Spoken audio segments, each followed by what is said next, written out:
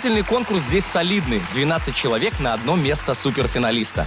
Но тех, кто готов на всю страну заявить «Я знаю», это не пугает. Меня зовут Георгий Колдун. Здравствуйте. А я Инна Пелевич, хозяйка телевизионной учительской. В моем распоряжении добрые слова, сладости и носовые платки.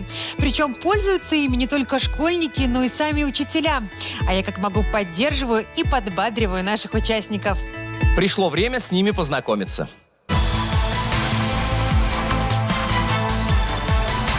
Перед началом игры мы каждого из ребят попросили дать себе короткую характеристику. Итак, встречайте.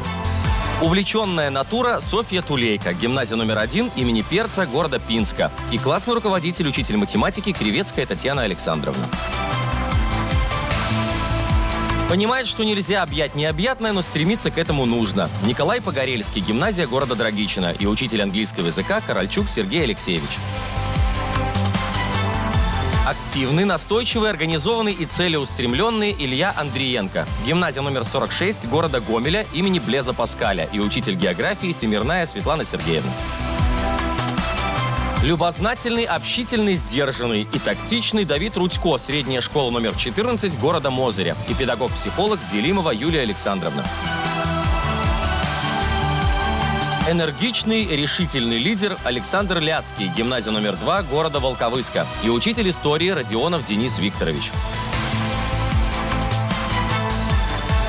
Ее девиз «Быть умным» значит не просто знать ответы на вопросы, но и уметь отыскать их. Екатерина Бажок, гимназия номер 41 города Минска имени Серебряного и учитель белорусского языка и литературы Вальчук Наталья Васильевна. Везунчик по жизни Николай Прокопчик, гимназия города Логойска. И педагог дополнительного образования Центра детского творчества Логойского района Кузьмич Вадим Олегович. Виртуозный музыкант Наталья Шилович, гимназия номер один города Слуцка. И классный руководитель, учитель белорусского языка и литературы Бараненко Анна Николаевна. Позитивная и активная мечтает связать свою будущую профессию с дизайном. Дарья Спиридонова, средняя школа номер два города Борисова и учитель биологии Голубева Ольга Александровна. Целеустремленный, стремительно развивающийся человек Лев Ермаченко, гимназия номер 8 города Витебска. И учитель физики Шабалин Сергей Александрович. Целеустремленная Елизавета Константинова, гимназия номер один города Витебска имени Алферова и учитель математики Константинова Светлана Васильевна. Естественная, любознательная, настойчивая и активная Елена Кухаренко, средняя школа номер 2 города Славгорода. И учитель математики Кухаренко Наталья Ивановна. Мне осталось представить еще одного человека. Это наш научный эксперт, начальник отдела методического обеспечения естественно-математического образования Национального института образования Екатерина Дуков. В случае возникновения спорных ситуаций она будет решать, на чьей стороне правда. Здравствуйте, Екатерина. Здравствуйте, Георгий. Здравствуйте, ребята. Я знаю, у вас все получится. Желаю вам хорошего настроения, уверенности в себе и всем успехов в игре. Ребята, мы рады вас приветствовать в нашей студии. Прежде чем мы приступим к вопросам и ответам, я хотел бы предложить вам аплодисментами пожелать удачи себе и вашим коллегам по игре. В эти минуты обстановка в телевизионной учительской накаляется, и причина совсем не в осветительных приборах в павильоне. Градус повышает волнение и желание наставников вернуться в родную школу с победой. Так давайте же разыграем место в суперфинале. Впереди нас ожидает первый тур. Предлагаю вам познакомиться с его правилами. В первом туре игрокам задаются 12 вопросов с вариантами ответов «да» или «нет», из которых только один является верным. Выбор нужно сделать за 7 секунд. Каждый верный ответ приносит участнику 1 балл. 8 игроков, набравшие большее количество баллов, проходят во второй тур. Первый вопрос первого тура. Верно ли, что инфузория туфелька относится к царству бактерий? Время.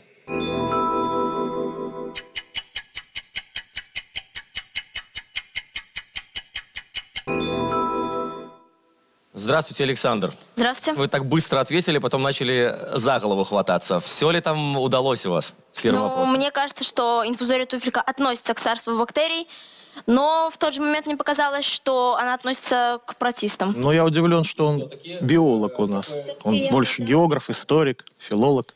Хорошо. Давид, здравствуйте. Как вы ответили? Я считаю, что правильный ответ на вопрос нет, потому что инфузория туфелька относится к царству простейших. Я думаю, что он правильно ответил, потому что Давид э, олимпиадник по биологии и нет, в будущем будет врачом. Считаю, Это его мечта. Инфузория туфелька относится к протистам. Правильный ответ на этот вопрос нет, потому что она относится к царству протистов. Второй вопрос. Правда ли, что ударение в слове, которое вы видите на экране, падает на первый слог, исходя из правил русского языка? Время.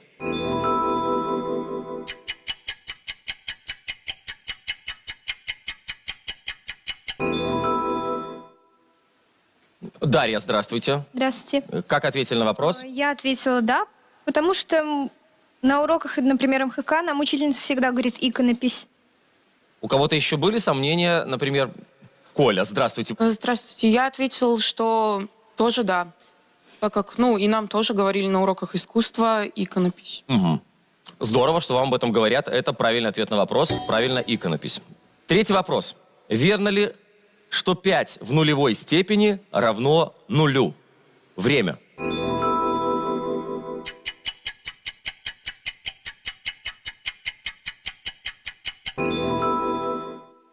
Давайте, Коль, пообщаемся. Я считаю, что 5 в нулевой степени, так как нам говорили на уроках математики, равно единице. Так как любое число в нулевой степени равно единице. Софья, а вы как ответили на вопрос? Здравствуйте. А, я ответила «нет», но я поняла, что правильный ответ «да». А как вы поняли, что правильный ответ «да»? Потому что э, я вспомнила стачу, которую мы решали, и 5 в нулевой степени было равно нулю. Хорошо. Лев, скажите, пожалуйста, что вы думаете? 5 в первой степени – это по логике 5. Следовательно, так как я когда-то слышал, то, что нам говорили про единицу, то в нулевой степени равно единицу. Резюмируем. Конечно, он правильно ответил мнению, и правильно объяснил. быть Даже я понял. Единица. Единица, то есть правильный ответ на вопрос? Нет. Нет, правильный ответ на вопрос. Ну, любое число, отличное от нуля, в нулевой степени равно единице. Четвертый вопрос. Правда ли, что Джек Лондон – английский писатель? Время.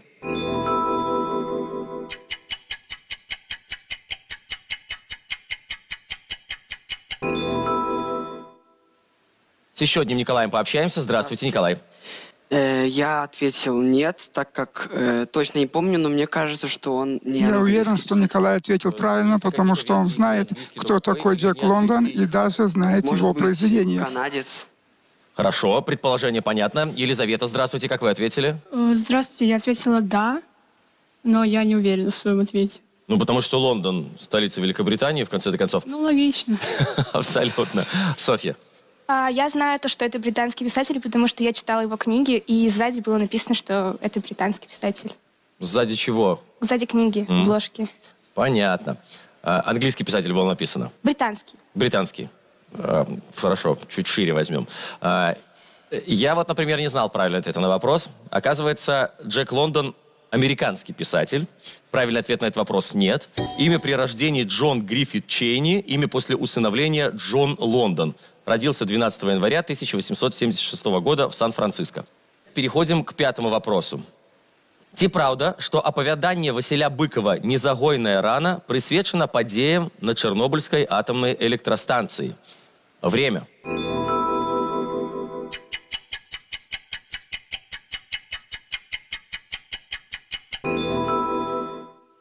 Илья, здравствуйте.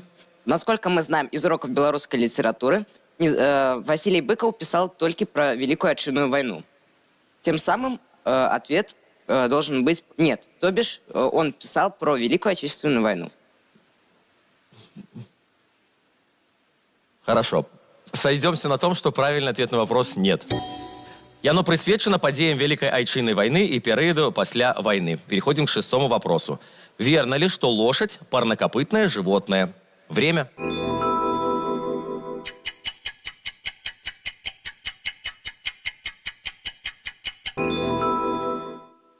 Екатерина, здравствуйте. Сложный А. вопрос. Ну, в принципе, я считаю, что она лошадь это парнокопытное животное, потому что, ну, действительно, две пары копыт, как бы. А, две пары копыт пусть парные. То есть, если бы она на трех ногах как бы бегала, то есть не две пары, а полторы, то полтора копытная было бы тогда, получается. знаю. А как вообще мы отличаем парнокопытных от непарнокопытных? Илья, давайте попробуем пообщаться Э, еще у раз. парнокопытных животных э, копыта разделены на две части. В принципе, у лошади тоже копыта разделены на две части на каждой ноге. Поэтому правильный ответ да. Э, А на какие две части разделено копыто у лошади? Оно, получается, выглядит э, в форме Как у поросенка? Так, в смысле, такие вот две таких...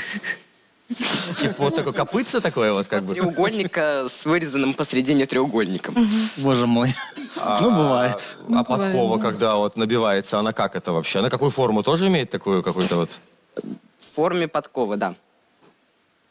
Стоп, у меня сейчас сердце становится, подождите. А, э, Вот Лев улыбается. Лев, расскажите нам, пожалуйста, что вы думаете по поводу этого вопроса? А, ну, я тоже считаю то, что это парнокопытное животное. Чисто потому, что я это где-то видел. Ну, просто я сначала подумал, что не лошадь, а корова. А про корову я точно знаю. Следовательно, по этой логике, так как корова и лошадь похожа, не надо над этим смеяться, пожалуйста. Моя логика. э, Лошадь тоже парнокопытное животное. Они родственники вообще лошадь с коровой? А, мне неизвестно. Но... Нет, понятно, что они вряд ли нам об этом расскажут, но э, с точки зрения классификации э, и вообще вот этих вот видов, классов и, и прочего. Э, да.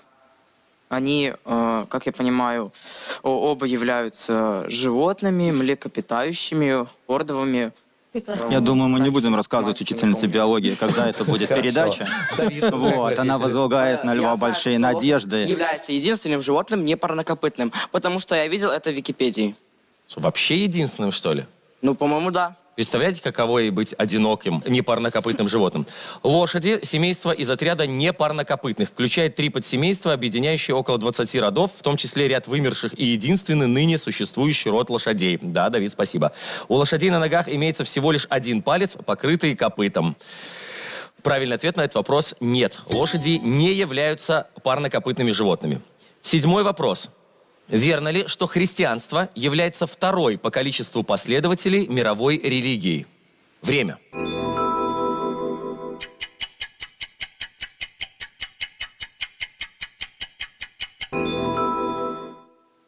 Александр, как вы думаете? Я думаю, что это вариант нет, так как Ну, около предположить. 70% населения Земли христиане разных течений, конфессий. 70%? Может быть, меньше. Елизавета, как вы думаете? Э, Мне кажется, что первое э, в мире это э, мусульманство, Мгм. а христианство, соответственно, На втором месте, вам кажется. Софья, вы как думаете? Я не очень уверена насчет своего ответа, но я ответила «да». Когда я отвечала на этот вопрос, мой мозг отключился. Вам там со львом весело рядом э, должно быть. Один коров с лошадью путает, у второго мозг отключается. Вот командочка у нас собралась тут. Правильный ответ на этот вопрос – нет. Она является первой по распространенности. К мировым религиям относятся христианство – 33% населения мира, ислам – 23%, индуисты – 14-15%, буддизм – 8%. Восьмой вопрос. Правда ли, что тепловая энергия переносится от Солнца к Земле с помощью конвекции? Время.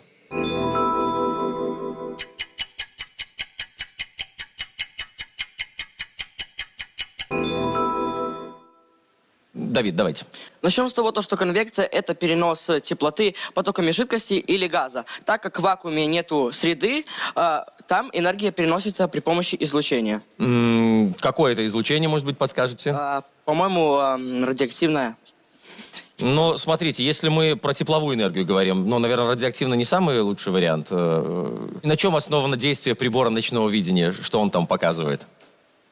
Без понятия. Тепловизоры и тому подобное. Ну, инфракрасное излучение, э, тепловое излучение. Правильный ответ на этот вопрос нет, потому что тепловая энергия от Солнца к Земле переносится с помощью излучения. Девятый вопрос. Верно ли, что при снижении кислотности сок черники меняет цвет на синий и поэтому может использоваться как растительный индикатор среды? Время.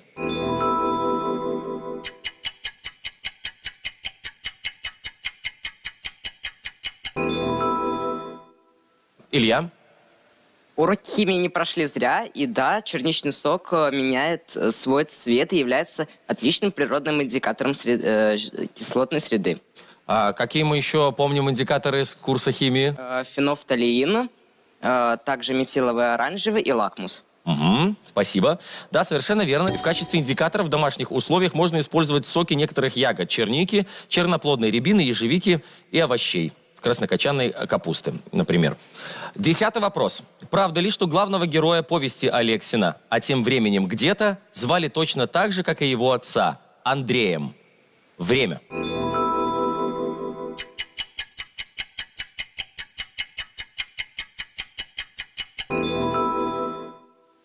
Лев, давайте. Я очень хорошо знаком с русской литературой, и мне это произведение очень понравилось, поэтому я не мог не запомнить то, что и сына, и отца звали Сергеем.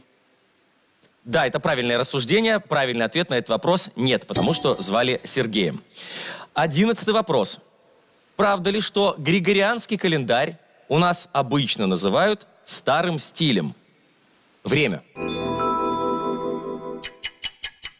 путаюсь. Нет. Григорианском нет. Юлианский старый. Юлианский старый, конечно. новое. Дарья, знаете ли вы ответ на вопрос? Не могу точно сказать. Но как ответили? Какой вариант выбрали? Да? Хорошо. Коля? Э, Григорианский календарь называют, ну, новым стилем, потому что до этого пользовались э, старым. А как он, а как он назывался? Юстинианский. Юлианский. Речь идет о юлианском календаре. В Советской России григорианский календарь был введен 14 февраля 1918 года декретом Совнаркома, подписанным Лениным 26 января 1918 года. Последним днем юлианского календаря являлся день 31 января 1918 года. Дни с 1 по 13 февраля 1918 года в Советской России официально не существовали. Правильный ответ – вариант «нет». Двенадцатый вопрос. Правда ли, что белорусский футболист Александр Глеб играл за команду Барселона? Время. Да, он играл Да, да. Барселону и выиграл с ней Лигу чемпионов, между прочим. Правда, тогда на, на поле не вышел, но тем не менее. Я получил. тоже. Кто из ребят интересуется футболом или из девушек, может быть, и может как-то рассказать нам информацию какую-нибудь? Александр, хотя бы футболиста этого знаете? Ну, знаю, но мне кажется, что он играл за Боруссию Дортмунд. Э, С 2008 по 2012 год Александр Глеб выступал за Барселону. Поэтому правильный ответ на этот вопрос – да. 12 вопросов позади. Прежде чем увидим результаты на экране, хочу вас спросить э, впечатление после первого тура. Елизавета, сложные ли были вопросы в первом туре? Для меня достаточно сложные. Э, с чем наибольшие проблемы возникли? Я забыла, э, как передается тепловая эне- энергия от Солнца к Земле.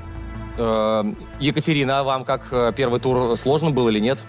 Я как-то сильно затупилась григорианским календарем.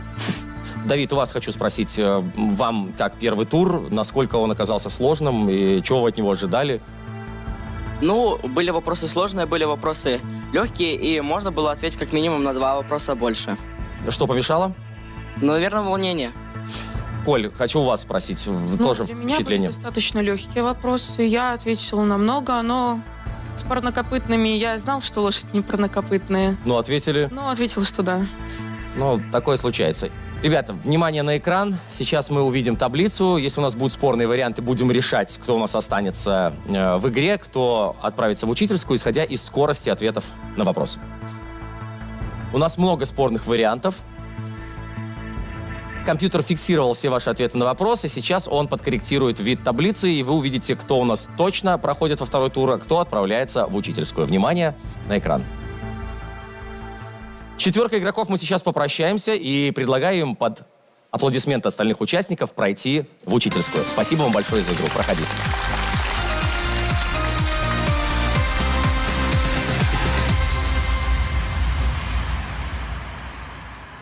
Торговая марка «Слодыч» — это вкусное и полезное печенье с многолетней историей, на котором выросло не одно поколение. Специально созданные рецептуры без пальмового масла, ароматизаторов и красителей позволяют родителям быть уверенными в качестве детского печенья «Слодыч».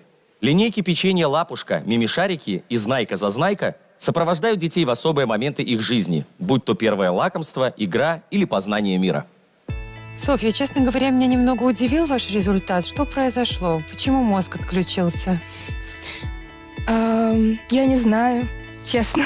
Просто не знали ответ на вопрос. Я знала, просто забыла. Все это мы проходили, там были довольно простые вопросы. Может быть, повлияло то, что вы отвечаете на вопросы под прицелом телекамер? Вот отличается как-то? Ну, вообще, я могу сказать, что кино, теле- телеканалы — это не мое вообще. Почему? Я люблю дома сидеть в спокойной атмосфере, делать то, что мне нравится. Татьяна Александровна, что скажете, волновалась ваша ученица? Да, это было заметно, в принципе, по ней. Знаю ее уже не первый год. Она многие вопросы знала прекрасно. Просто, я думаю, тут сказалась и дорога, и то, что она волновалась в первую очередь. Но я думаю, что у нее все получится. Она действительно просто ребенок очень талантливый. Она пишет книгу, она печатается уже. Да вы что, Софья, о чем? Эм, магический реализм, низкая фэнтези, приключения, дружба. Это очень круто звучит. Э, Первую книжку они уже на пару с подругой выпустили, ну, в таком экземпляре, чисто домашнем. Софья, давайте договоримся. Вы мне вашу книгу с автографом, а я вам вручаю диплом проекта «Я знаю». Спасибо. Спасибо большое за игру. Наталья, когда вы увидели себя в таблице, вот, спорный вот этот вот момент, спорная часть, что вы испытывали? Э, ну, я сразу поняла, что я не очень быстро отвечала. И, ну, понятно было, что вылечу. То есть вы уже стали мысленно прощаться? Или все-таки какая-то была надежда, что можно еще немножко повоевать? Надежда была, но всегда умирает последний. Какие эмоции сейчас испытываете? Мне очень понравилась игра, особенно студия огромная. А, и все люди очень позитивные. Анна Николаевна, а у вас какие впечатления от проекта, я знаю? Наташа могла бы пройти и дальше, но просто действительно вопрос с физикой, она как-то меньше знает физику, так? Футбол, ну, и то, что где-то медленно она отвечала. Ну, на самом деле мы стараемся создавать вопросы Понятно. по абсолютно разным дисциплинам и в целом на общую эрудицию. Наталья, э, я желаю вам удачи. Спасибо. Этот результат, он действительно отличный. Я уверена, что у вас уже есть какой-то свой уголок с наградами дома. Да, есть. Вот, и еще один диплом, вашу личную копилку. Спасибо большое. Спасибо большое за игру. Николай, почему вы оказались сейчас в учительской? Я считаю, что э, я оказался потому, что когда я знал ответ на вопрос, я решал задуматься и либо нажимать другой, либо нажимать медленнее. Это меня и подвело, так как вот про григорианский календарь я знал, и про парнокопытных животных я знал. Просто мое сомнение меня и подвело. Я уже через одну секунду после того, как нажимал, уже понимал, что ответ неправильный. То есть нужно было нажимать то, что пришло в голову сначала. Но при этом всем вы получили удовольствие от игры? Да, конечно. Что понравилось? Ну, мне понравилась сама игра, сами вопросы, они были очень интересными. Мне еще понравилась э, сама студия, она очень красивая, и соперники также сильные, сильные и достойные. Пускай они тоже сражаются за победу. А, Сергей Алексеевич, вы согласны с тем, что Николай немножечко перемудрил? Николай играет в нашей команде э, студии, когда уже несколько лет показывает прекрасные результаты. Он лучший игрок в команде, но у него есть вот этот нюанс. Его первая мысль всегда правильная. Если он начинает думать, возникают проблемы. Оцените игру Николая. Он молодец, у него есть шансы. Э, я скажу, в триаде пришел, увидел, победил. Иногда пришел, увидел, очень важно. А победил еще будет. Спасибо большое, Николай. Я надеюсь, что это отличный опыт, который вам поможет научиться принимать решения чуть-чуть оперативнее. Вручаю диплом на память. Елена, ну что, вы попали под лошадь? В какой-то степени, да. Что с вопросом про парнокопытных? Я сначала знала, но потом я запуталась и ответила неверно. Что будете рассказывать одноклассникам? Ну, то, что будут спрашивать, то ей буду отвечать. Вы же наверняка поделитесь какими-то впечатлениями. Насчет, Насчет вопросов. Насчет вопросов. А что именно вы расскажете? Ну, что многие вопросы там очень интересные. Наталья Ивановна, у вас всегда такая неразговорчивая дочь? Ну, я бы сказала, что да. Ей, видимо, сегодня немножко не повезло с удачей. И кот, который утром нам пытался сегодня перейти дорогу, нас об этом предупреждал. Мы пытались изменить судьбу, но, как видите, Но что-то пошло не так, да? да? Оцените игру как мама и как преподаватель. А, как преподаватель, конечно, за математику я бы ее наказала. Но тут же она мне ответила, на какой странице и в какой строчке у нее написано на полях, что 5 в нулевой степени — это 1. А как мама оцените? А, как мама я могу только похвалить, что большая молодец. Спасибо большое за игру. Вручаю ваш трофей. Спасибо большое. Мы прощаемся с первой четверкой выбывших игроков и переходим ко второму туру. Оберегаем счастье. Белгосстрах.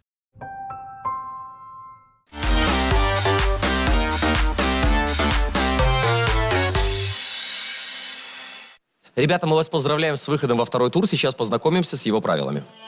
Во втором туре игрокам задаются 10 вопросов с тремя вариантами ответов, из которых только один является верным. Выбор нужно сделать за 10 секунд. Каждый верный ответ приносит участнику 2 балла. Четыре игрока, набравшие большее количество баллов, проходят в третий тур. Второй тур, первый вопрос. Какая писательница придумала муми-троллей? А. Туви Янсен, Б. Астрид Лингрен, С. Сельма Лагерлёв. Время.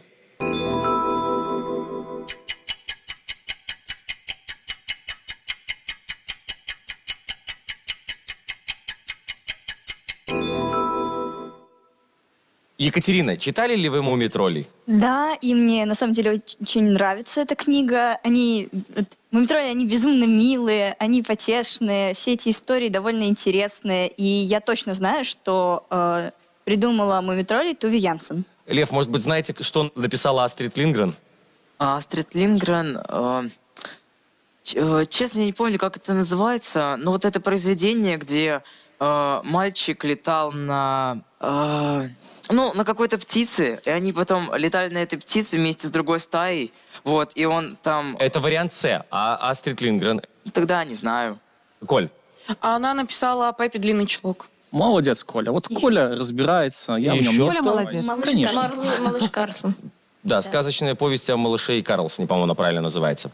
Правильный ответ на вопрос, вариант А, Туви Янсен. Совершенно верно. Второй вопрос. Какой из этих городов находится южнее остальных? А. Лондон, Б. Берлин, С. Париж. Время.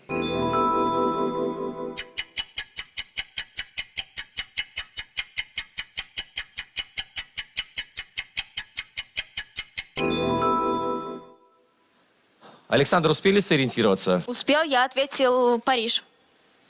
Это правильный ответ. А, Лондон и Берлин находятся э, севернее, но достаточно близко друг к другу в своей широте. Переходим к третьему вопросу. Издали виднелись сухие ветви. А. Ольх. Б. Ольхов. С. Нет множественного числа у этого слова. Время.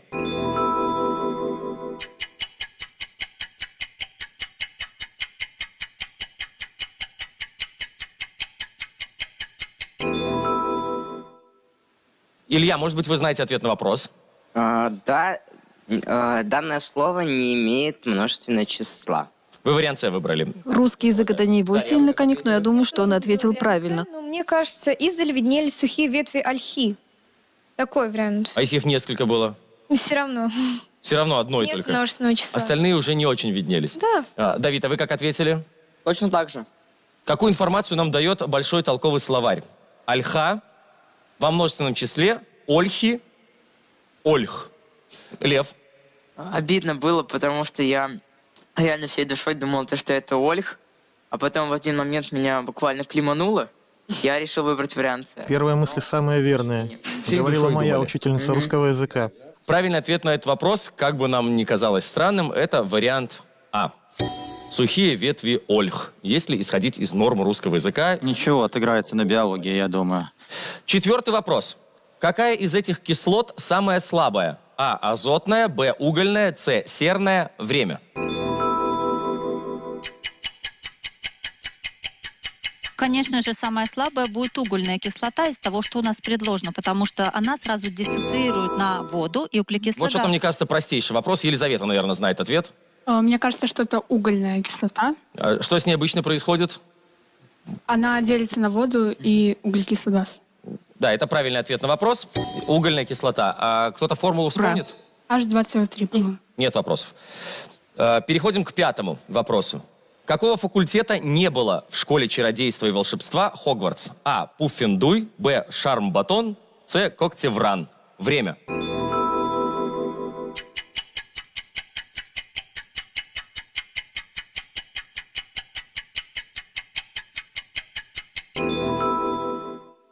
Ну, давайте, Екатерина. Я просто огромный фанат Гарри Поттера и прекрасно знаю, что Шарм-Батон это было во французской школе, откуда была Флёр де Лакур.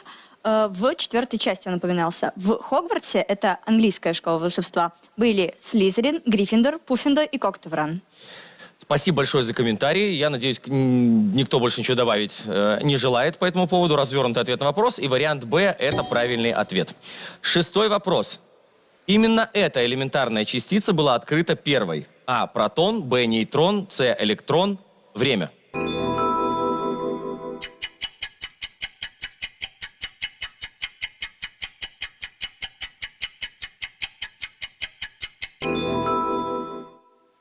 Николай. Если я не ошибаюсь, то электрон э, был открыт самым первым. Правильный ответ на этот вопрос – вариант С – электрон. Переходим к седьмому вопросу. Какая из этих кинопремий вручается в Венеции? А. Золотая пальмовая ветвь. Б. Золотой лев. С. Золотой медведь. Время.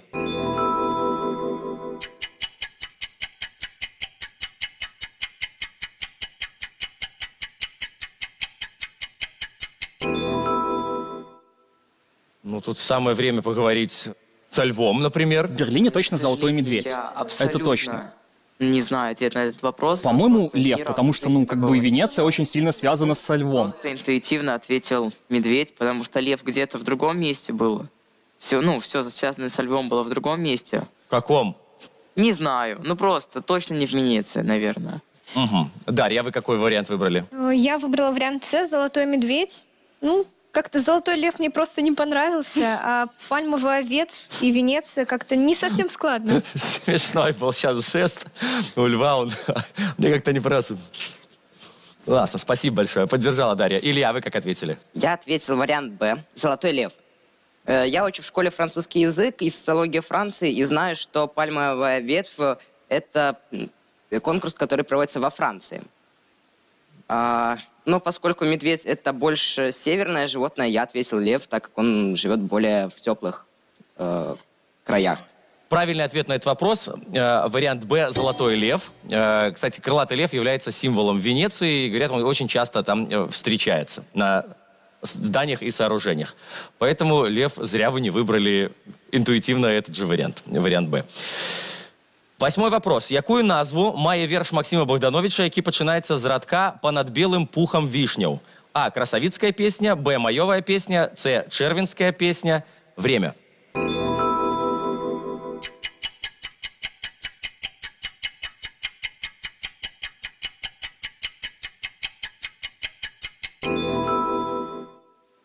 Ну, давайте, Николай. О, ну, я думаю, что о, лучшим вариантом будет вариант Б. Мое Молодец, Николай, красавчик. я в нем не А, сомневался. как вы э, пришли к этому варианту, то есть исходя из чего? Ну, может, какая-то мне это- цепочка логическая. показалось самым красивым названием А, для верша. в каком месяце вишни цветут? В мае? Май. Я полагаю, что да, поэтому правильный ответ на вопрос э, м, можно получить более логическим путем, как мне кажется, если не знать правильный ответ на вопрос. Маевая песня. Правильный ответ. Девятый вопрос. Если один из смежных углов равен 70 градусам, то чему равен второй угол? А. 290 градусов, Б. 110 градусов, С. 20 градусов. Время.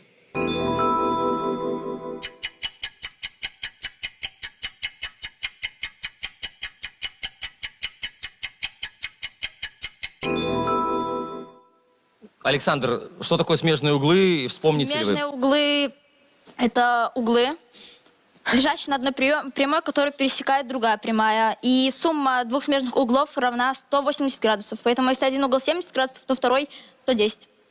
У кого-то есть что добавить? Все верно сказал Александр? Ну, почти.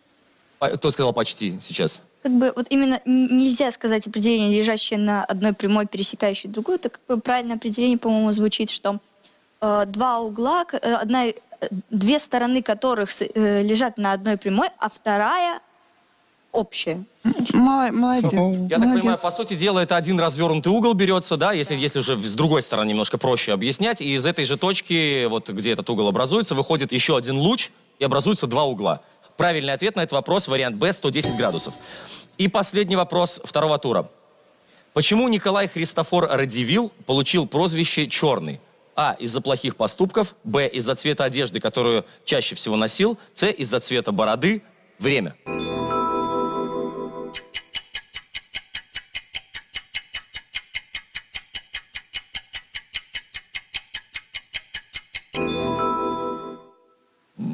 А, Давид, вы как ответили?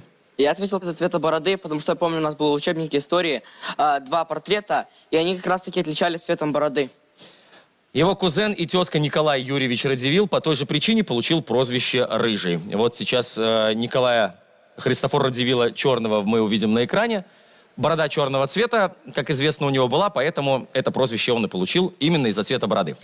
10 вопросов позади, второй тур позади. И спрошу вот э, сейчас, например, у Екатерины. Екатерина, второй тур оказался сложнее, чем первым, или такой же по сложности? Мне кажется, действительно оказался сложнее, чем первый, и на самом деле я могла ответить на больше вопросов, но, наверное, переволновалась, потому что очень хочу выйти в третий тур, и, ну, достаточно много ошибок наделала.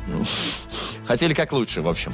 Получилось, как всегда. Да. Э, Николай, вам как второй тур показался? Сложнее, Ну, проще или да. такой же? Он был сложнее, чем первый. Но я надеюсь, что я прошел в третий тур. Я всем желаю удачи, но вы должны понимать, что все равно четверка игроков сейчас отправится в учительскую. Смотрим на экран. У нас есть спорные моменты. У Ильи и у Дарьи одинаковое количество баллов. Кто был чуть быстрее, сейчас нам продемонстрирует компьютер. У Ура! Ильи чуть Ура, быстрее Илья остался. была э, скорость при ответе на вопросы. И в данном случае это был решающий фактор при прочих равных э, исходных данных. Сейчас мы прощаемся с четверкой игроков и предлагаю их аплодисментами проводить в учительскую. Спасибо за игру.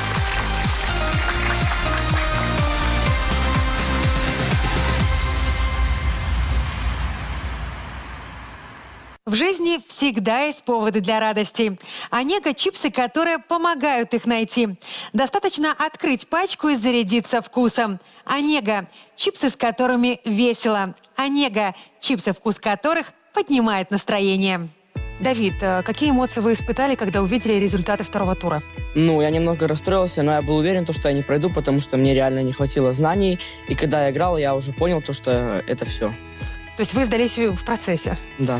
А как же вот спортивный азарт, обогнать соперника? Еще же была возможность. М, Была, но э, тут были вопросы не из моей сферы интересов, поэтому я не ответил на них. На каком вопросе вы посыпались? Вы поняли, что тут уже все, дальше? На Никак. первом. На первом? Про писательницу. А про Гарри Поттера? Я не увлекаюсь, я даже и фильмы не смотрел. Юлия Александровна, э, вы как оцениваете игру? В целом неплохо. Конечно, у нас были шансы пройти, наверное, в третий тур. Но, как говорит Давид, не хватило знаний, будет над чем работать. Будем смотреть фильмы Гарри Поттера. Юлия Александровна, вы ведь педагог-психолог. Э, Неужели он не воспользовался вашими какими-то рекомендациями? Ну, когда к нему подходила, он очень спокойно себя чувствовал, он внутренне, и я вот по нему видела, что он уверен. Но, видимо, вот вопросы подкосили его немножко. С первого вопроса. Если первый вопрос не пошел, то уже, значит, вся игра не пошла. Да, Давид? Да. Давид, помните, что всегда можно отыграться и наверстать упущенное. Спасибо вам большое. Диплом на память и не волнуйтесь больше так. Дарья, у вас спорный был момент. Буквально один шаг вы могли оказаться в третьем туре. Что со скоростью? Ну, э, где-то долго думала, где-то не успела. Какие-то вопросы я отвечала, ну, интуитивно. Вот, например, Гарри Поттером я тоже вообще не интересуюсь, не смотрела, не читала. Но выбрала правильный ответ. А где-то просто запуталась. Как часто вы в школе интуитивно отвечаете? В школе? Бывает. То есть можете выкрутиться из какой-то ситуации сложной, даже если не выучили, не подготовились? А я обычно готовлюсь. То есть это не про вас. Ольга Александровна, какую бы вы поставили оценку игре вашей ученицы? Ну, я считаю, что в принципе Даша умничка. И тот факт, что она приехала сегодня на игру, отыграла два тура, просто великолепно. Согласна с вами, в жизни эти доли секунды ни на что не влияют. Была великолепная игра, спасибо большое. Диплом на память. Екатерина, э, Наталья Васильевна мне по секрету рассказала, пока мы находились в учительской, что ваш папа является победителем Международной Олимпиады по биологии. А в этом туре как раз, мне кажется, было очень много вопросов по биологии. Что же вы оказались здесь? Неужели это никак не помогло? Вот то, что мой папа победитель международной по биологии, ни капельки не значит, что биологию люблю я. Биология как раз один из моих самых нелюбимых предметов, поскольку я немножко боюсь всего этого. я математик, физика у меня тоже неплохо. И я очень сильно увлекаюсь литературой. Все вопросы по литературе у меня отвечут неправильно. Вот еще один вопрос, и я бы прошла. Расстроились? Да. Я скажу вам, что не стоит расстраиваться, потому что ваш наставник тоже не всегда находил правильный ответ на вопросы. Наталья Васильевна, какие у вас впечатления от игры? Задачу минимум Катя выполнила. Это, войти, это пройти во второй ту- тур. Задачу максимум не получилось. И мне кажется, не получилось не потому, что э, не хватило каких-то знаний. Наоборот, второй тур это были вопросы в основном по литературе, и Катя э, как-то даже воодушевилась. Э, Видно, что это ее тема была. Ей э, было очень приятный вопрос по математике, она даже комментарии давала. Но мне кажется, ей просто, просто удача отвернулась. Я в этом даже уверена. Все победы еще впереди, и это просто новый опыт. Спасибо большое, вручаю вам честно заработанный трофей. Спасибо. Александр, вы смотрели проект «Я знаю» по ТВ. Вы так себе это представляли? Сам процесс игры? Да, так себе его представлял, но вопросы были сложные, некоторые. Например, вопрос про Гарри Поттера, я им вообще не интересуюсь. А что вы читаете? Я мало читаю, я читаю больше журналы, которые мне интересны. Заметили какие-то области, в которых у вас пробелы знаниях сегодня? Ну, То есть почему оказались здесь? Литература и на физическом вопросе про электроны я забыл. Что будете рассказывать в школе? Ну, скажу, что я молодец. Вы правы. Если меня не похвалят, то э, сам себя надо похвалить. Денис Викторович, а что вы будете рассказывать в учительской? Что ваш ученик молодец? Ну, конечно, я бы э, всем детям поставил 10. Понимаете, всем. Потому что это в любом случае испытание, ну, психологическое какое-то. Вот. Дети молодцы. Саша, конечно, тоже молодец. И только похвала. Саша, спасибо большое за игру. Спасибо, что вы так позитивно воспринимаете результат и желаю удачи. Спасибо. Спасибо большое. А мы провожаем вторую четверку выбывших игроков и продолжаем следить за игрой. В интеллектуальной игре «Я знаю» музыкальная пауза. У нас в гостях солистка детской студии искусств «Малиновка Бай Спамаш» Пава.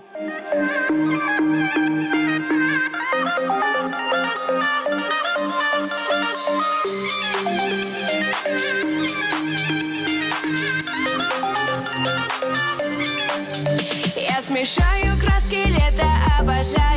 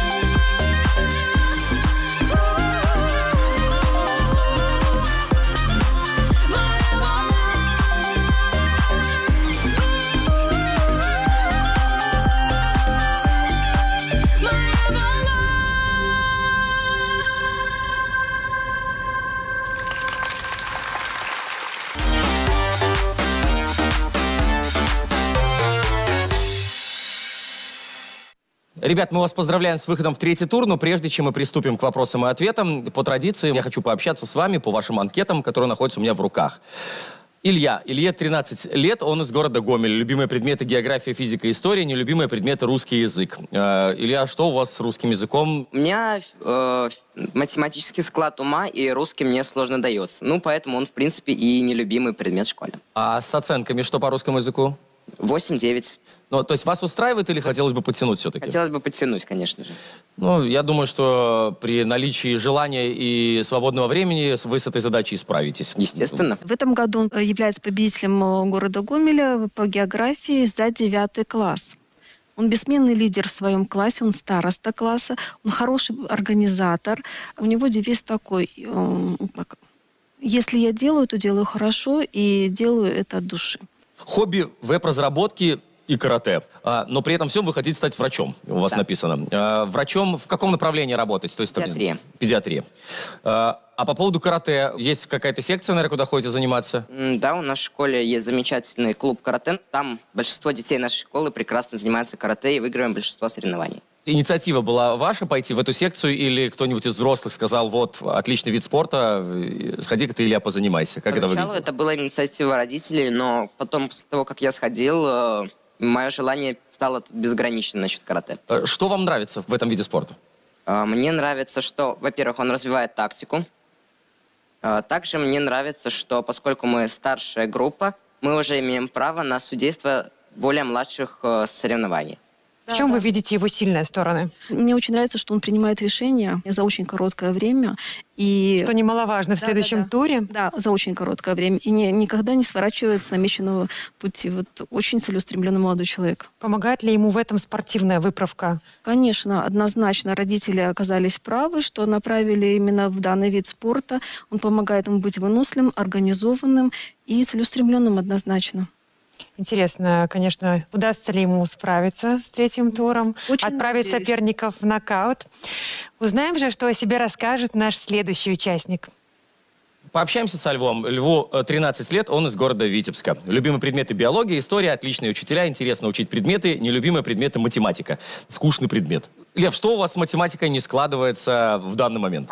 А, конкретно не складывается, я не могу сказать. Для меня это всегда предмет, который, ну вот ты просто учишь, и все, и у тебя все хорошо идет. Но именно интереса какого-то к данному предмету или желание больше узнавать чего-то нового, больше учиться решать какие-либо примеры, задачи у меня нету. Он э, участвует в олимпиадах по биологии, он э, занимается с преподавателем, у нас есть возможность университета, то есть у него успехи там. Главное достижение в жизни – понял, чего хочу в этой жизни. Чего вы поняли? Вот в 13 лет, значит. По пунктам давайте. Чего конкретно вы хотите в жизни? Я хочу найти цель в жизни, конкретную, а не такое, я хочу стать кем-то, да, а вот как получится, так получится. Я хочу найти себя в обществе, также хочу просто как бы понять этот мир хоть каким-то образом, при этом оставаясь в нем настоящим человеком. Он находится в поиске, находится в поиске себя. Он не определился, что он хочет быть врачом, инженером там или программистом. Он э, просто пока считает, что ему нужно учиться для того, чтобы в будущем ему это пригодилось. Чему бы хотели научиться? Очень хорошо планировать свое время и грамотно выражать свои мысли. Ну, почему бы и не научиться? Э, Это как бы всегда есть возможность совершенствоваться. Хобби битмейкинг. Пытаетесь писать музыку? Э, да, ну, конечно, с текстами у меня редко что-то выходит, но именно... С текстами, с маслами и с фильтрами тоже, как бы, видимо, не очень хорошо. Э, с- э, С текстами, значит, у вас с текстами не очень хорошо выходит, э, с лирикой, а вот э, биты, как у нас модно нынче говорить, вы уже как бы делаете. Да, это интересно. Ты узнаешь новые звуки и пытаешься сделать что-то новое, необыкновенное, интересное. Судя по интервью, русский язык это не его конек. Но раз вы учитель физики, также любит биологию, в этом он силен. Какие еще сильные стороны у мальчика? Сильные стороны в знаниях в большой степени за счет трудолюбия и целеустремленности. То есть, если э, что-то задают, если что-то нужно сделать, то Лев обязательно безукоризненно все выполняет. Посмотрим, как он справится с третьим туром и поинтересуемся, что себе расскажут наши следующие участники. Поговорим с Николаем. Николаю 13 лет, город Логойск. Как мотивируете на учебу? Учеба помогает добиться лучшей жизни в будущем. Как держится сегодня? Что Он скажете? молодцом, он очень стойкий, он умеет рассудительный, умеет подумать и принять верное решение. Участие в турнире «Что, где, когда». Есть ли у вас своя какая-то команда, с которой вы постоянно участвуете в этих играх, или это какая-то разовая история? О, да, у нас есть своя команда. Вот именно от Логойска. Как называется она?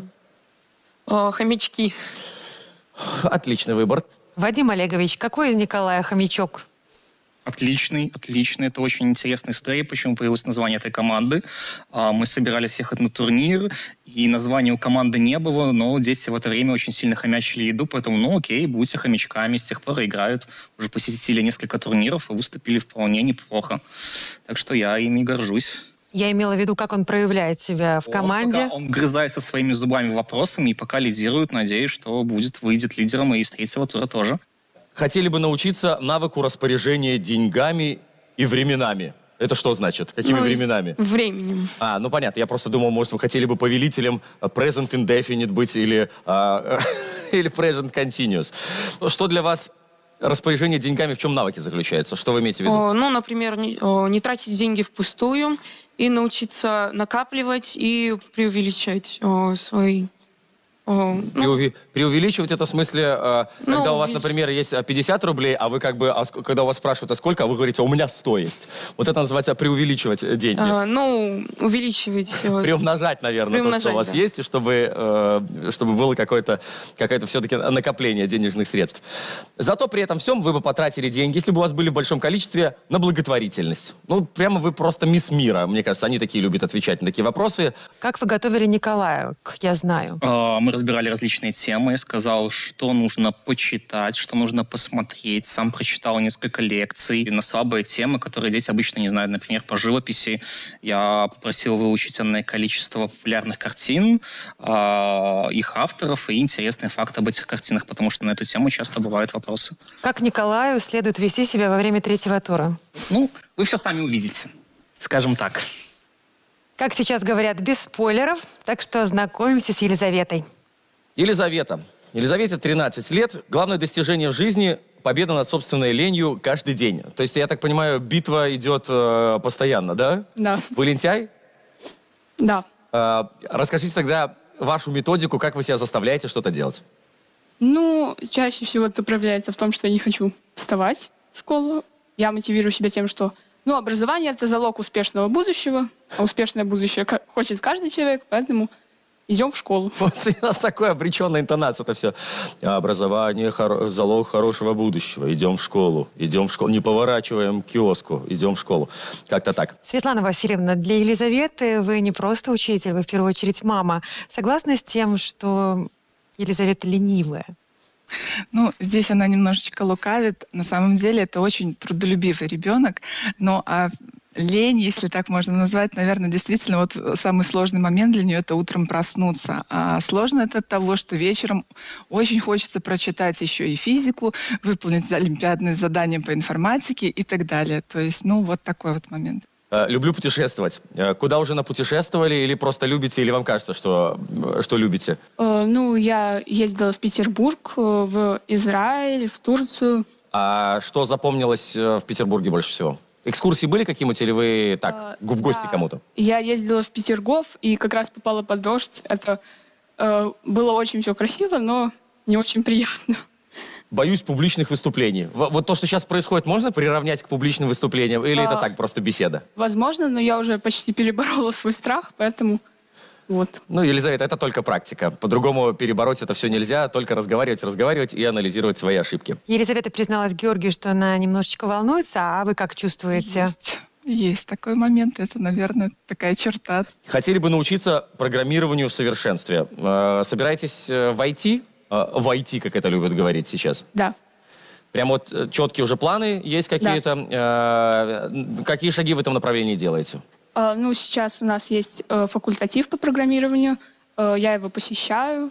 Сложно ли своему ребенку ставить неудовлетворительные оценки? Вы знаете, так сложилось, что от этого она меня избавила. То есть, э, понимая груз ответственности, человек всегда готов, и если надо, выручит, подскажет, поможет. Поэтому этого я лишена. Не ставлю ей э, плохие отметки. Ну, она же может не подготовиться. Ну что вы, у нее нет такого шанса. Надеемся, Елизавете в следующем туре помогут знания математики. В остальных дисциплинах желаем всем удачи. И посмотрим, кому же удастся пробиться в финал. Итак, ребят, впереди третий тур. Предлагаю вам познакомиться с его правилами. В третьем туре ведущий задает 10 вопросов. Право ответить получает участник самой быстрой реакцией. Верный ответ приносит ему 3 балла. В случае ошибки право ответа переходит к другим участникам. Два игрока, набравшие большее количество баллов, проходят в четвертый тур. Первый вопрос. Внимание на экран. В каком городе находится эта достопримечательность? Николай был первым. О, Лондон. Да, это Тауэрский мост, Лондон. Вопрос под номером два. Что объединяет эти картинки? Елизавета. Э, На первой картинке это морской слон, а вторая это шахматная фигура, которая также называется слон. Совершенно верно. Слово «слон» подходит под обе картинки. Следующий вопрос от нашего информационного партнера Национального центра правовой информации Республики Беларусь. Внимание на экран. Здравствуйте, дорогие ребята!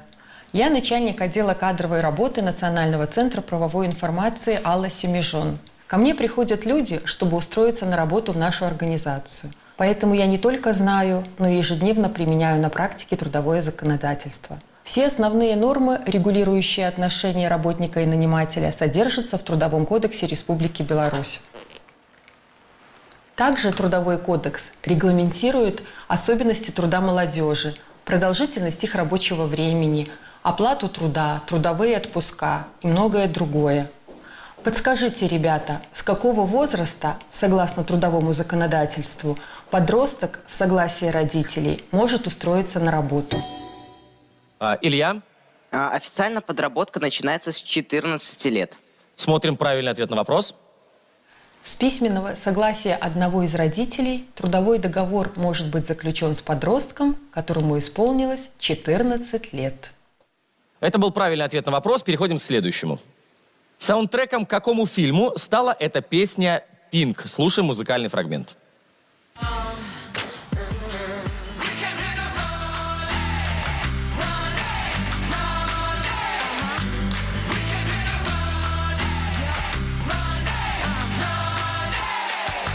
Just like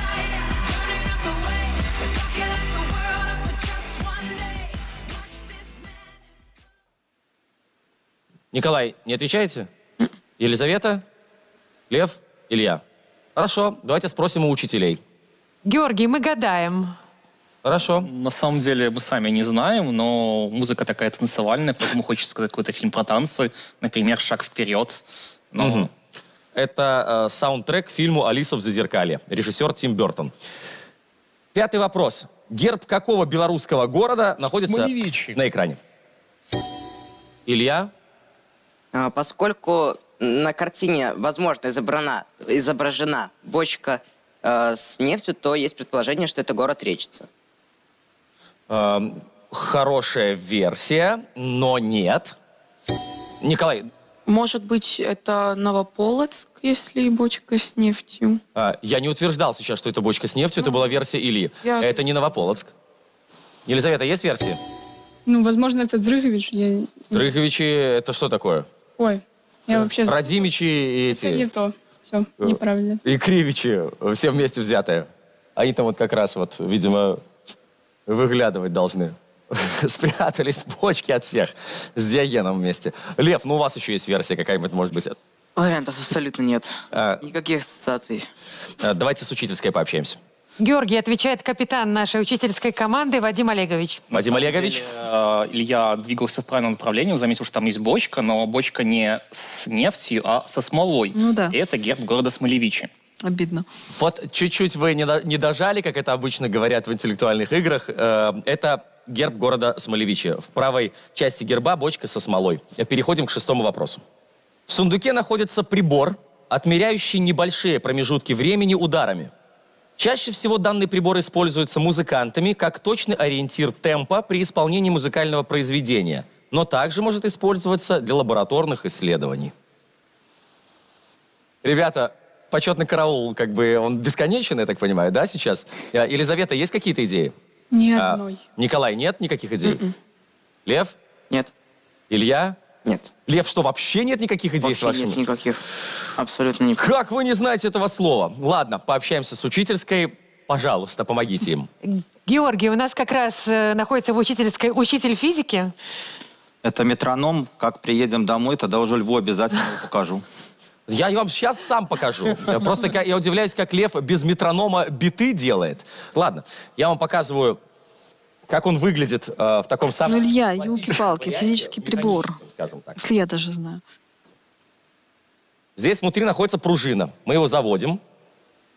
Дальше здесь вот этим полоском выставляется темп, то есть количество ударов э, в минуту. И здесь подписаны вот эти вот адажио, например. Берем адажио, где-то приблизительно, сколько там, ну, допустим, там 106 ударов. Вот ставим полозок на, этот, э, на это место и отпускаем. И получаем четкий темп, под которым можно играть какие-то упражнения, например, когда вы занимаетесь на фортепиано, на гитаре. Седьмой вопрос. Сопоставьте водопады с материками, на которых они расположены.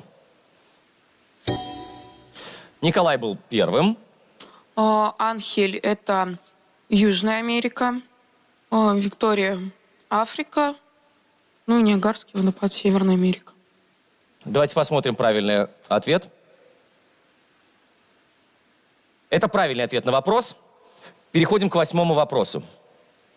В 2015 году на сцене Большого театра Беларуси был поставлен балет на музыку Евгения Глебова. Перед премьерой хореограф-постановщик рассказывала, наш спектакль будет ориентирован и на взрослых, и на детей. Это, конечно же, взрослая сказка, но все же сказка, и дети в ней найдут что-то свое, поэтому эту историю поймут на своем уровне. И действительно, балет пользуется успехом и у взрослых, и у детей. А называется он так же, как и произведение, по мотивам которого был создан. Как?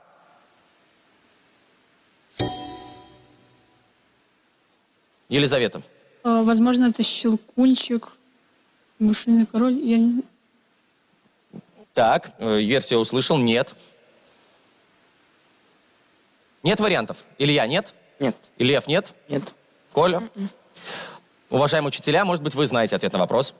Георгий, так получилось, что я подсказала учителям. Это «Маленький принц», и, если я не ошибаюсь, справа а, Константин Героник. Ответ от ребят мы не получили, никто балла себе не зарабатывает на этом вопросе. Переходим к девятому вопросу, надеюсь, здесь будет попроще. Нужно будет разгадать ребус. Следите за тем, что происходит на экране. Давай, Коля, по первой части, как мы учили. Не надо тебе вторую часть ждать, ребуса.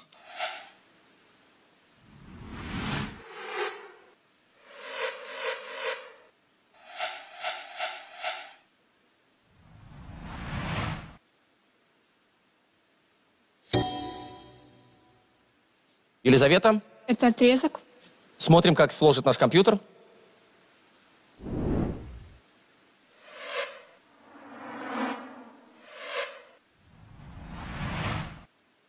Да, это правильный ответ на вопрос.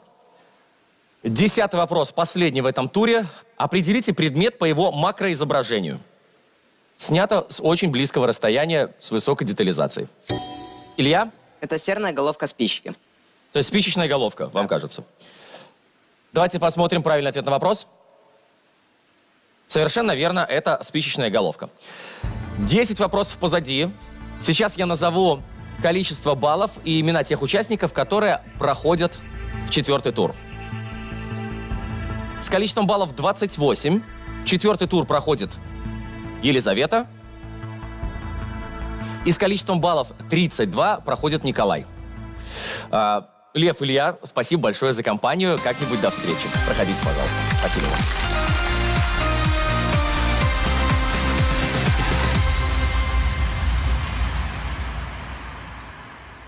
Лев, вы были так активны в первом, втором турах. Что случилось в третьем? У меня складывалось впечатление, что просто сели батарейки. А, честно, как это объяснить, но а, первый, второй тур, там были варианты ответа. Это самое легкое, что может быть вообще из каких-либо заданий. Это был не ваш формат вопросов. Вы хотите тестирование исключительно. Да, я люблю тестирование, но когда по конкретной теме, то я чисто для развития очень хотелось бы именно вот в такой форме, чтобы проходило не тестирование, а именно таких ответов, потому что это более развивает твою память, эрудицию, вот. Но Ну вы же знали, что в третьем туре будут такие вопросы? Да, конечно, знал, и поэтому я, в принципе-то и не собирался как-то. Когда у меня спрашивали, э, все ли настроены победить, я просто промолчал, ну, потому что я понимал то, что больше третьего тура, даже если магическим образом попаду в четвертый, я точно по-любому найдутся дети, которые умнее, сообразительнее в какой-либо области, чем я. То есть вы выполнили вашу задачу максимум? Свою задачу на максимум. Сергей Александрович, вы согласны? Ну, раз ребенок доволен, доволен собой, план мы выполнили. Мы вначале думали, чтобы после первого тура уже домой не уехать. А тут мы посмотрели, как бы вот э, план мы выполнили, вот, опыт получили, и общение с телевидением, и общение, как говорится, с интеллектуальными играми, поскольку Лев не играет там ни в бреринг, ни что, где, когда. Вот, то есть только посмотрев в формате телепередач, это тоже для него в какой-то степени опыт. Но мы сделали все, что могли. Лев, мне остается только вручить документ, подтверждающий то, что вы выполнили задачу. Держите диплом. Все. Илья, какие впечатления от третьего тура? А, Впечатление довольно хорошее, но мне просто не хватило скорости принятия решения. А, то бишь, а, я просто долго думал, можно и так сказать. На какое количество вопросов вы знали ответы, если вот вам дать чуть-чуть больше времени? Я знал ответ на Лондонский дворец, я знал э, ответ про водопады, э, и я вспомнил в конце концов про метроном, но уже было поздно. Вы довольны вашей игрой? Да.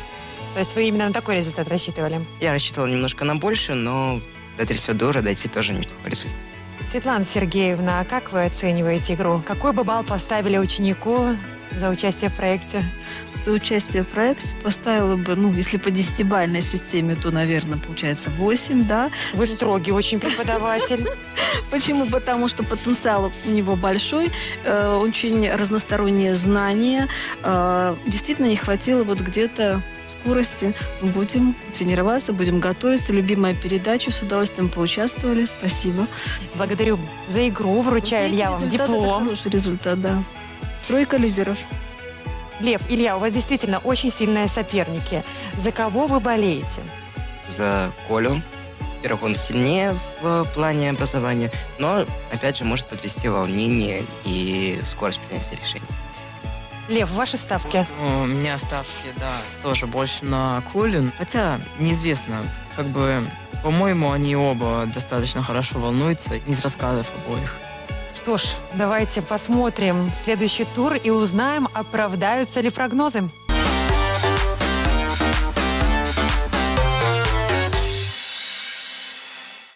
Ну что ж, впереди у нас четвертый тур. Познакомимся с его правилами.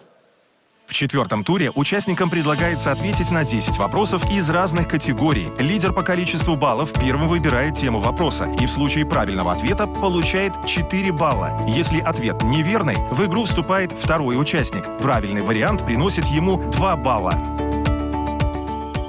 А, У Николая в данный момент э, наибольшее количество баллов по итогам трех туров, поэтому, Николай, выбирайте категорию первой.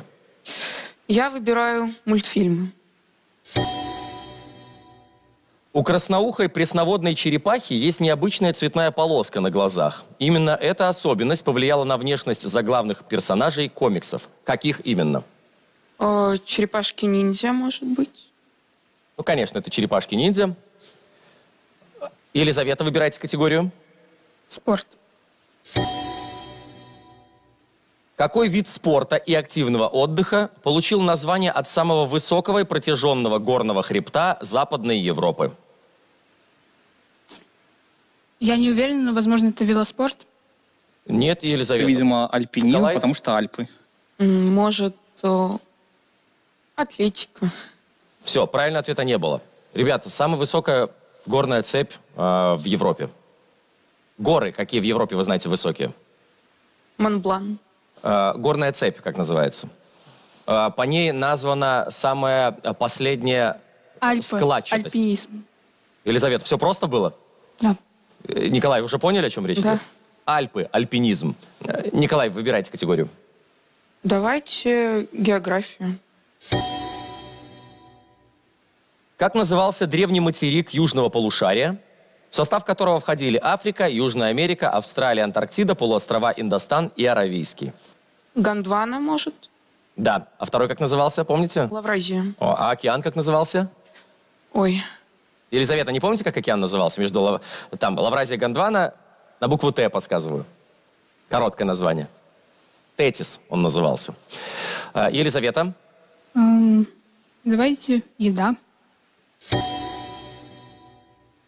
назовите десерт, который получится, если в блендере смешать ягоды или фрукты, добавив к ним кусочки льда, сок или молоко. Ответ должен состоять из пяти букв.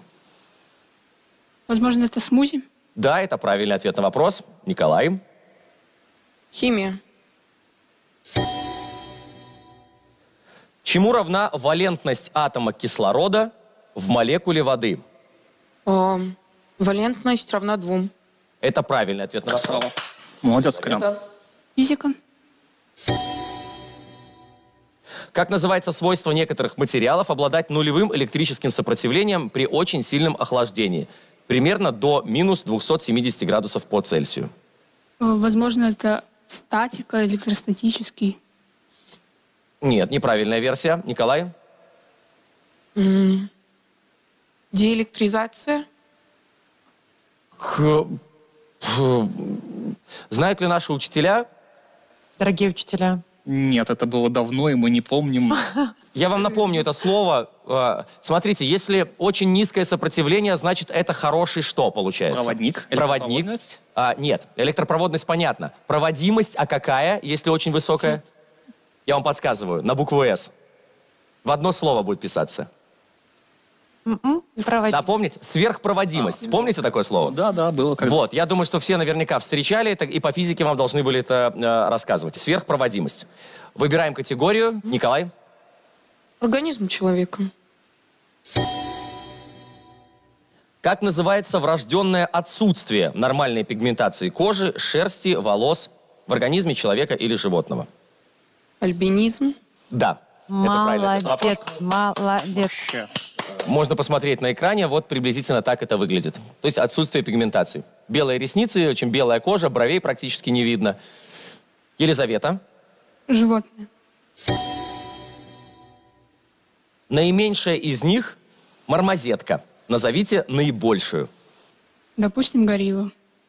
Это правильный ответ на вопрос. Николай? Всемирная литература.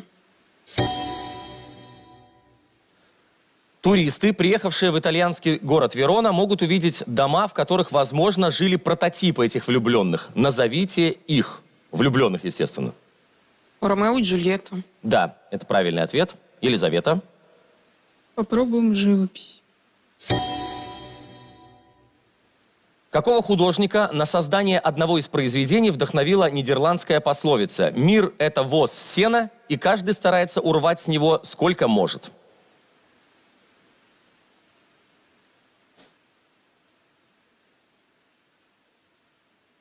Вы проходили это по искусству, но я точно не помню. Э, ну, предположим, что это Дали. Это просто из ниоткуда. Мгм. А, Версию услышал. Николай, у вас есть возможность попробовать ответить на этот вопрос. Может быть, это босс? Красава. Босх. Так он создал свой Молодец. триптих «Воз сена». Внимание на экран. Итак, четвертый тур позади, игра позади. Сейчас на экране появится таблица, из которой мы узнаем, кто у нас точно проходит суперфинал, а у кого есть очень неплохие шансы туда попасть по итогам доборов после того, как э, мы проанализируем игры всей вашей параллели. Внимание на экран. У Николая 54 балла, у Елизаветы 36. Николай точно проходит суперфинал, с чем мы его поздравляем. Елизавета, я вам просто желаю э, там тоже очутиться. Будем надеяться на э, скорую встречу тоже в суперфинале. Пока отправляйтесь в учительскую и спасибо вам огромное за игру. Проходите.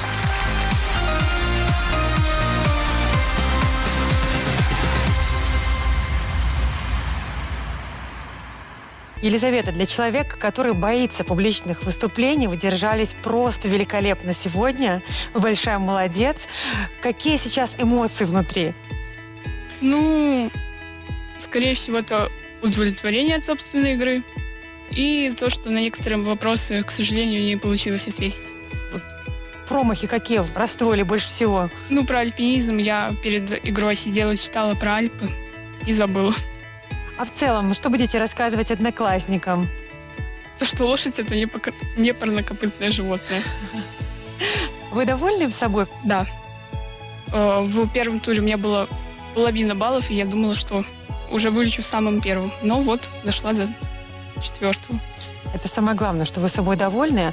Светлана Васильевна, вы так переживали. Что у вас сейчас внутри?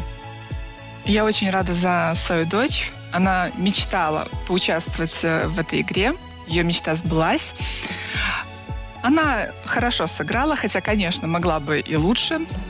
Но сказались э, внешние обстоятельства. Где-то уже и подустала, где-то э, быстро не сообразила. Да и соперник у нас очень сильный.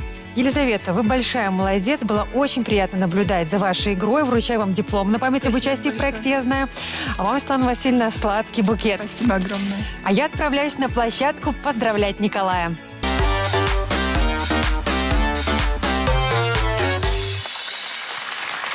Игра подошла к концу, пришло время награждать победителей.